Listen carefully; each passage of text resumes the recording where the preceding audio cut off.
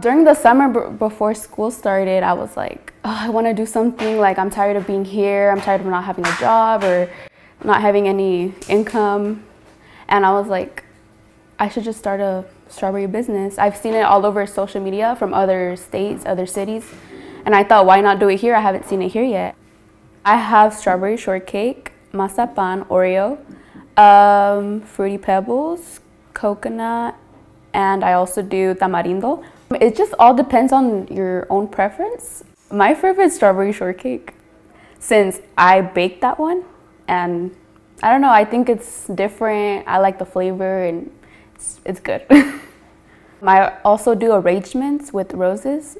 They gift it to like their loved ones or someone's birthday for any any occasion. I, I think it's for any occasion. I offer special arrangements um, for any occasion. It could be holidays, birthdays, anniversaries. Since we're in October, I thought it would be a great idea to do spooky berries. That's what I call them. I try my best to make them look spooky. I'm using Instagram. I have its own Instagram page. And basically every order I do, I take a picture and I post it and that's how people see my like my work. But yeah, if everything goes good, then I'll continue doing this. I hope hopefully I grow.